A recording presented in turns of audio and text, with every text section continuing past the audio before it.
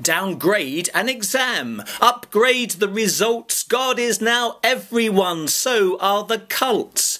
Join the gym. Get off on a bike. With no wheels, there's no distance. Choose selfish ambition. Do what you fucking like.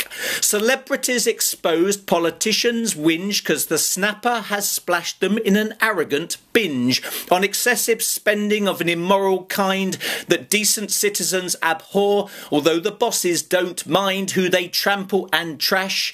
Belt tightens the belly of workers, mash the benefit scrounging, scumbag chav, happy inhabitants of a one way ring road city. It's pretty shitty out there, and who'll give a care as the quicksand draws and the tide sweeps away?